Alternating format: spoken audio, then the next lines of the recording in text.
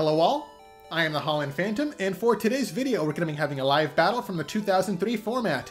On one side, we've got the Meganium Exeggutor deck going up against the Dark Gengar Noctowl deck on the other side, so we'll see which of these two decks can take the victory today. But before we begin, please remember to like, comment, and subscribe to this channel, and to my Twitter account, at Holon underscore Phantom, so you don't miss out on any new Pokemon TCG content. And now with that out of the way, let's get into the battle. And here we go, the battle has started, with both players flipping over their starting Pokemon. On the Meganium side, we've got Pichu as the active Pokemon, and on the Gengar side, we've got Cleffa as the active Pokemon with a Gastly on the bench. The Gengar side is going first, attaching a Psychic Energy to Cleffa, and a Gold Berry to the benched Gastly. Okay, no more cards come down. There's the attack declared Eek. The player has to flip a coin, and it comes up heads. So the attack goes through, and they can shuffle away their hand to draw seven brand new cards. It's important to remember that in this format, if a Pokemon tries to attack a baby Pokemon, the player has to flip a coin. And if they get tails, uh, the attack fails and the turn automatically ends, which is why Cleffa has to flip a coin against Pichu, as they're both baby Pokemon. On the Meganium side, Chikorita comes on onto the bench, and now the player activates Pokemon Fan Club as their supporter to search the deck for two basic Pokemon to put onto the bench. So the first one is going to be Exeggcute, and the second one is going to be Cleffa. Now both sides have a Cleffa. It's going to be one of the best um, Pokemon of this format, with its Eek attack, continuously letting the player shuffle and draw 7 new cards as a form of consistency. The next card is going to be uh, Professor Elm, a trainer, to shuffle uh, the hand away to draw 7 cards, so Professor Elm and Cleffa essentially have the same effect. But Professor Elm also has a side effect of uh, after it's played, the player can no longer use any more trainer cards for the remainder of the turn. Okay, the player puts down a second Cleffa and a second Exeggcute. Pichu retreats to promote the Cleffa with the energy, and we might be seeing the attack come through. Yeah, there's the attack. Eek, and there's a coin flip. It comes up, also heads. So once again, the player's going to shuffle and draw seven.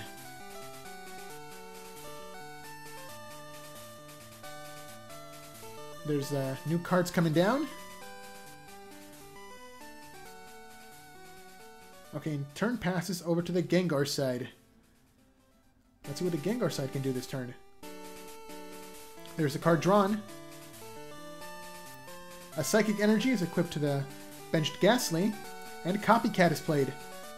Now the player gets to shuffle away their hand and draw cards equal to the number of cards the opponent has in hand, and we know that they have seven as they ended their turn with uh, Cleffa's Eek last turn. There's the cards coming down. And are we going to be seeing any more Pokemon come down? Yeah, we see the Gastly evolve into Dark Haunter, and Professor Elm is also played to, once again, shuffle and draw seven. There's the new cards coming down again. Any more Pokemon coming down to the bench? Yeah, here we see a Misdreavus coming down. And there's the attack. Eek! The coin flip is... Oh, it's Tails this time, so nothing happens. Turn passes over to the Meganium side. Do they have any evolutions to bring down? A Grass Energy is equipped to one of the benched Exeggcute, and Chikorita evolves into Bayleef. No more Pokemon come down, and there's the attack, Eek. Also hits uh, Tails, so nothing happens. No trainers were played for the Meganium side this turn.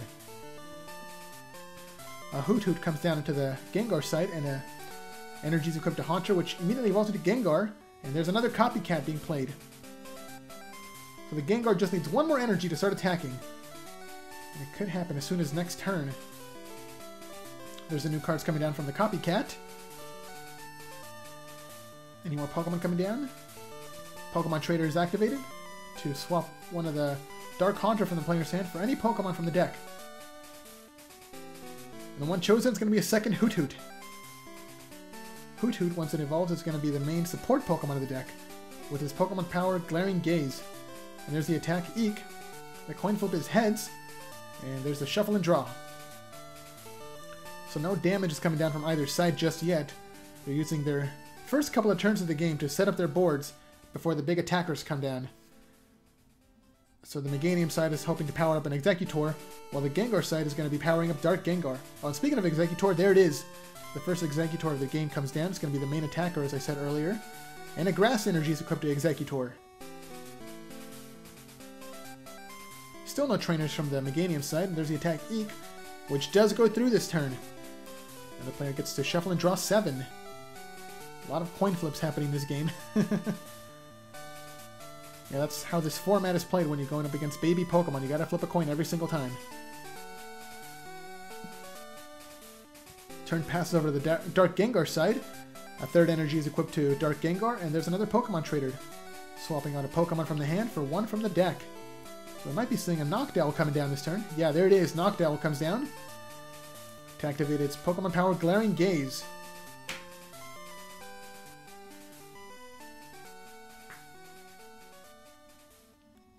There's Glaring Gaze activating. Flipping a coin. It comes up tail, so nothing happens. Otherwise, if they got heads off of it, they'd be able to look at the opponent's hand and shuffle away one of the trainers from their hand. Okay, Cleffa retreats to promote Dark Gengar, and there's the first attack declared. It comes up. Oh, tail, so nothing happens. Never mind. No damage coming down just yet. Turn passes over to the Meganium side. A third Grass Energy is equipped to the Exeggutor. An Energy Stadium is played. A Focus Band is equipped to the Bench Exeggutor. Do they have Meganium yet, though? Copycat is played too. Shuffle and draw 7. The player really needs to get Meganium onto the field. It's going to be the main support Pokemon for the deck. Although it is possible for Exeggutor to take a KO this turn. Okay, another Exeggutor comes down onto the bench. Oh, but still no Meganium. There's the attack. Eek. And now since Cleffa is going up against a Gengar, it does not have to flip a coin. There's the seven new cards being drawn. And let's see what the Gengar side can do on their following turn. They can still take a KO on Cleffa if they roll a heads. Okay, turn pass over to the Gengar side. Noctowl activates Glaring Gaze. There's the coin flip, and it comes up heads that time. All right. Oh, it looks like the player does have a Meganium in hand, so we, we're going to be seeing it on the following turn. The player chooses one of the opponent's Professor Elms to shuffle back into the deck. So Noctowl is really good for stripping away resources from the opponent's hand. Unfortunately, it only works on trainers and not Pokemon, so they cannot take away the opponent's Meganium. A Psychic Energy is equipped to the bench Misdreavus, and Professor Elm is played.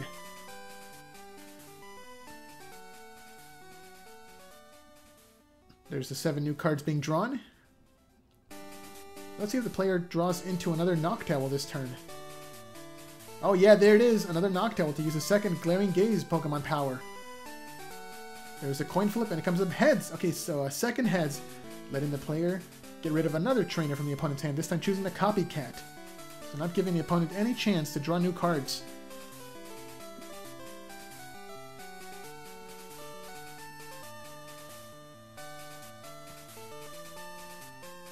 And there's the attack. Pull in, the coin flip comes up. Heads that time, so the attack does go through, taking a one-hit KO on Cleffa, and Dark Gengar takes its first prize. On the Meganium side, Pichu comes up as a new active Pokemon. And let's see what the Meganium side can do. And then we finally see Meganium coming down, activating its Pokemon power. Uh, Overgrowth.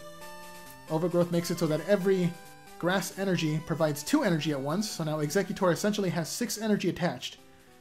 Energy Stadium is activated, uh, flipping a heads on the coin flip, so now the player gets to get back one of the discarded grass energies to put back into their hand, which is equipped to the fresh Exeggutor.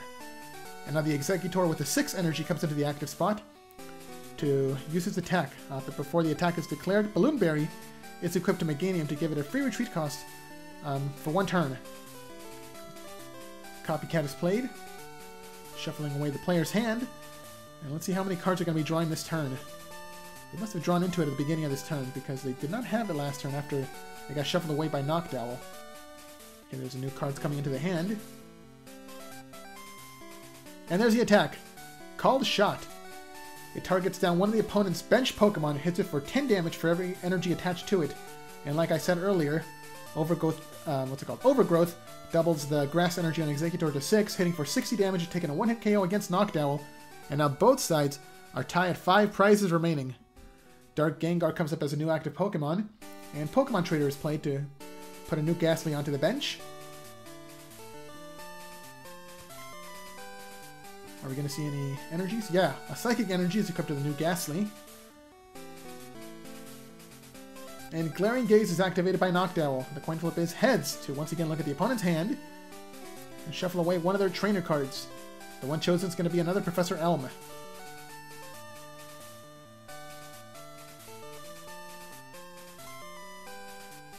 Okay, there's a deck coming back down. Any trainers coming down from the Gengar side? Uh, no, but they are going to be using their attack pull in to bring up the opponent's Pichu, and then immediately hitting it for 30 damage to take a one-hit KO against Pichu. I'm sorry, little buddy. That's four prizes remaining for Dark Gengar. On the Meganium side, Cleffa comes up as a new active Pokemon. And a Grass Energy is equipped to the Meganium.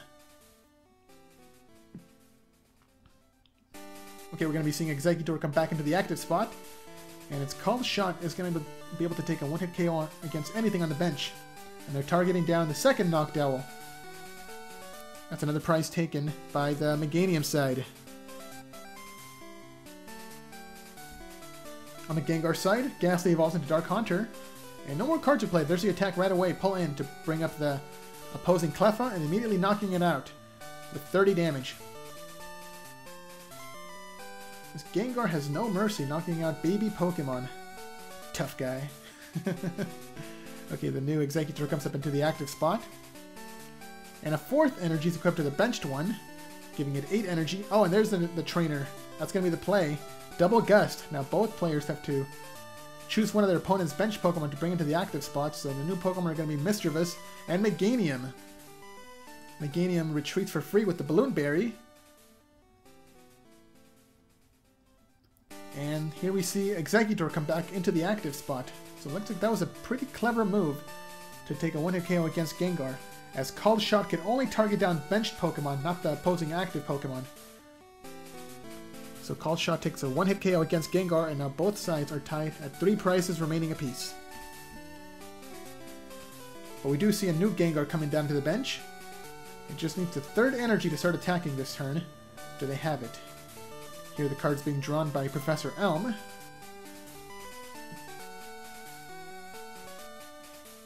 Yes, they do have a third energy.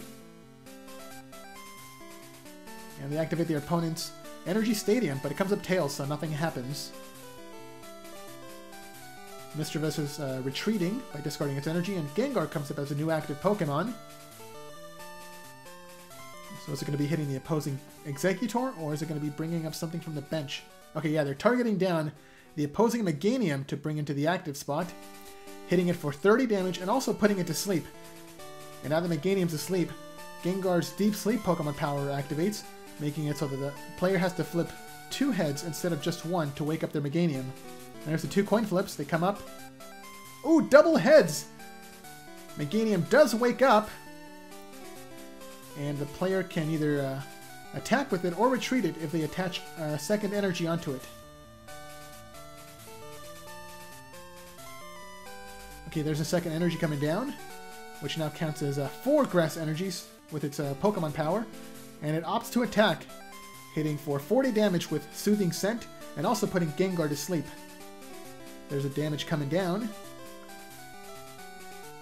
Gengar only has to flip one coin, as its Pokemon power deactivates when it's affected by a special condition, but it came up tails, so Gengar is still asleep this turn, it cannot attack. Another Gastly comes down to the bench, and a Gold Berry is equipped to the Gengar.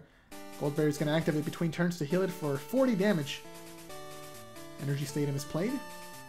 It comes up heads, and now they can get back one of the discarded Psychic Energies to put back into their hand. Energy is equipped to the benched Gastly, and there's Copycat being played. So shuffle away their hand to draw. Um, how many cards? Let's see.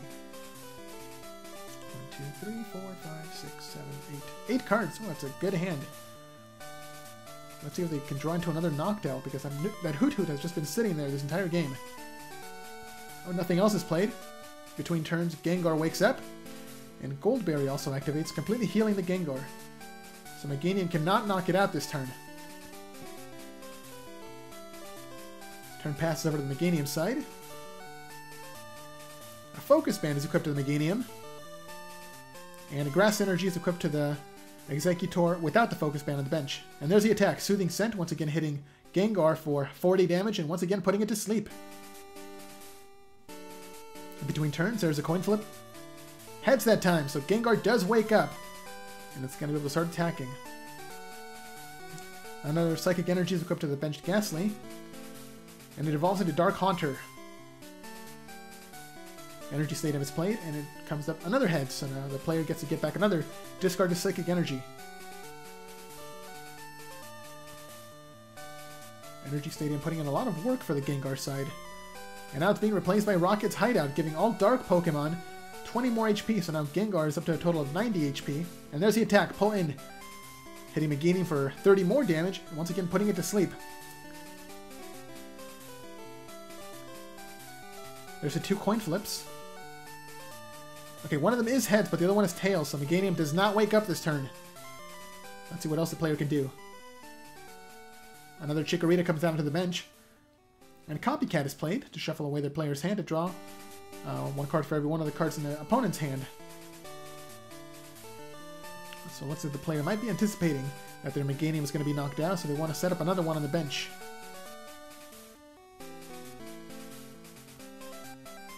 Another Energy Stadium comes down to replace the opponent's Rocket's Hideout.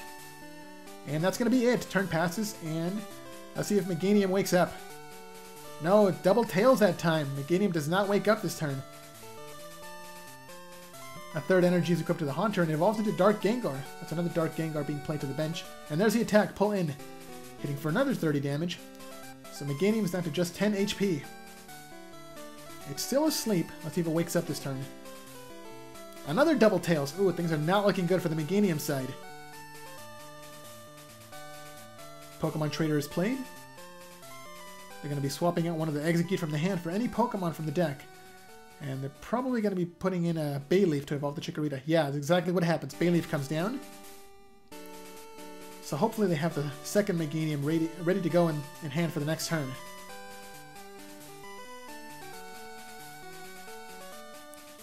Next, the player's going to use Professor Elm to shuffle away their hand to draw seven new cards. So they must have not had the Meganium in hand. And they're hoping to draw into it with, uh, with this trainer. Let's see if they get it for next turn. Turn passes. And there's the two coin flips. Okay, they both come up heads. Meganium does wake up, but it's too little too late. Gengar might be taking the KO. We'll see if Focus Band can save Meganium. A Darkness Energy is equipped to the benched Gengar, giving him 10 more attack points. And there's the attack, pull in. So first, Meganium goes to sleep. Let's see if Focus Band can spare it for one more turn. The player has to get a coin flip of heads. Otherwise, Meganium is KO'd. There's a coin flip, and it's it is heads. All right, so Meganium is spared for one more turn. In between turns, oh, another tail. So Meganium does not wake up. Let's see what the player can do. Oh, double gust. Okay, that's another way to wake up the Meganium. The player drags up the opponent's uh, and the Gengar player brings up Bayleef. And now with Meganium back on the bench, it wakes up, and its Pokemon power activates again. A Grass Energy is equipped to Bayleef, which doubles to two Grass Energies, giving the, the player enough energy to, re to retreat the Bayleef, bringing up Exeggutor. And now Energy Stadium is played. The player flips a coin, and it comes up Heads, to bring back the discarded Grass Energy that they used to retreat the Bayleef. And now Exeggutor can take a one-hit KO against either one of the Gengar on the opponent's bench. And there's the attack, called Shot, hitting the new Gengar, the one with the Darkness Energy, and that's another prize taken by the Meganium side. On the Gengar side, the player uses the Energy Stadium, but this time it comes up tails, so nothing happens. Do they have a way to retreat this Misdreavus? Yes, they do. There's the Energy Attach and Discard. Gengar comes up into the active spot. And another Gastly comes down, followed by the supporter Town Volunteers to get back five cards from the discard pile to shuffle back into the deck. And the ones chosen are going to be three Psychic Energies, a Haunter, and a Gengar. All going back in, so it looks like the player might be setting up another um, Gengar to put down.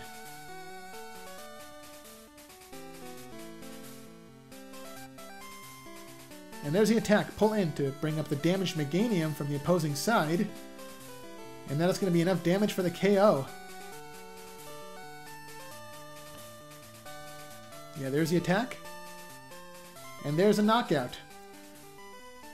Another prize is taken by Gengar, and now both sides are down to just two prizes remaining. Exeggutor comes up in, as a new active Pokemon, and does the player have another Meganium? Yes, they do! A fresh Meganium comes down. The player attaches a Grass Energy to it. And now its Overgrowth Pokemon power activates, giving Exeggutor 8 energy. Energy Stadium is activated, comes up um, heads on the coin flip to get back a discarded Grass Energy. And there it is.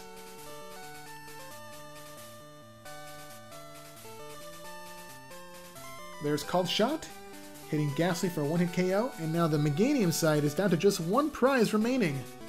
Things are not looking good for the Gengar side. As they cannot take a one-hit KO against anything, but Exeggutor can take a one-hit KO against everything.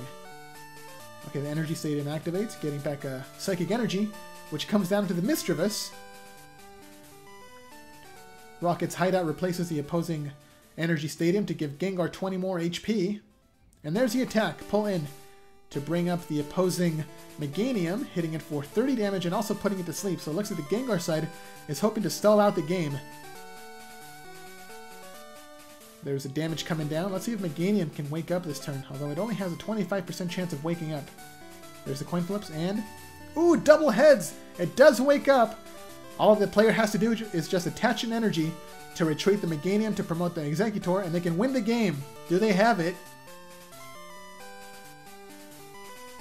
Oh, no energy, but it doesn't matter because it did have the Balloon Berry, giving Meganium a free retreat cost, bringing up the Exeggutor to use its Called Shot against anything on the opposing Pokemon's bench. And there's the attack. Called Shot to take a one-hit KO against Cleffa to take the final prize, and there's the handshake. Meganium is your winner. So what did you guys think of that battle? Let me know down in the comments below, and be sure to leave a like, subscribe, and share this video to help this channel grow and reach new viewers. Thanks a lot for watching, and until next time, this is the Holon Phantom logging out.